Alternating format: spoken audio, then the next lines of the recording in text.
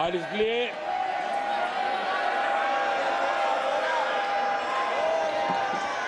आदरणीय सभापति जी,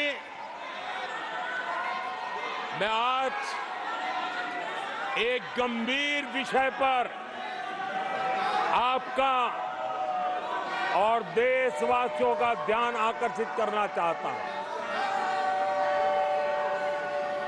कल जो हुआ इस देश के कोटि कोटि देशवासी आने वाली सदियों तक माफ़ नहीं करेंगे। आदरणीय सभापति जी 131 साल पहले 131 ईयर पहले, स्वामी विवेकानंद जी ने शिकागो में कहा था मुझे गर्व है कि मैं उस धर्म से आता हूँ जिसने पूरी दुनिया को सहिष्णुता और वैश्विक स्वीकृति सिखाई है। 131 साल पहले हिंदू धर्म के लिए विवेकानंद जी ने अमेरिका के शिकागो में दुनिया के दिग्गजों के सामने कहा था। आदरणीय सभापति जी, हिंदू सहनशील है। हिंदू अपनत्व को लेकर के जीने वाला समूह है। इसी कारण भारत का लोकतंत्र भारत की इतनी विविधताएँ, उसका वैविध्य की विराटता, आज उसी के कारण पनपी है और पनप रही है।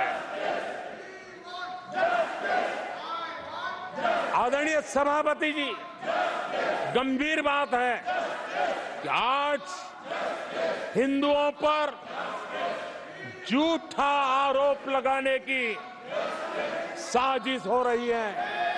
गंभीर षड्यंत्र हो रहा है।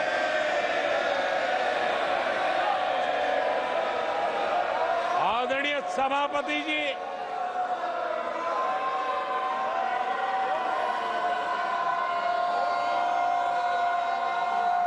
आदरणीय सभापति जी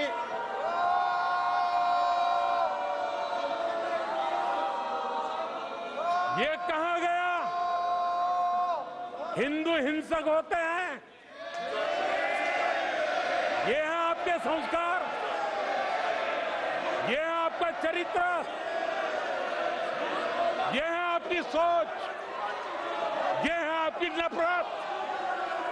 इस देश के हिंदुओं के साथ ये करने में आदरणीय सभापति जी ये देश शताब्दियों तक इसे भूलने वाला नहीं है।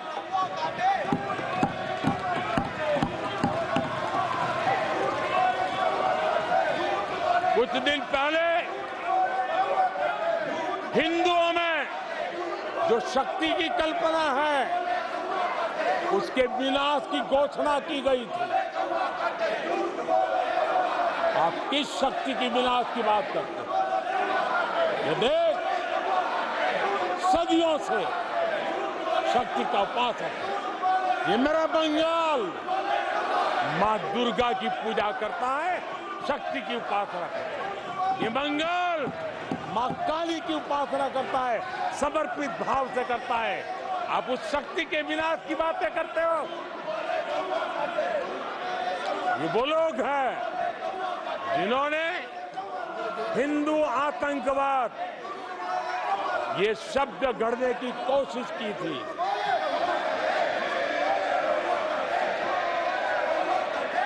इनके साथी हिंदू धर्म को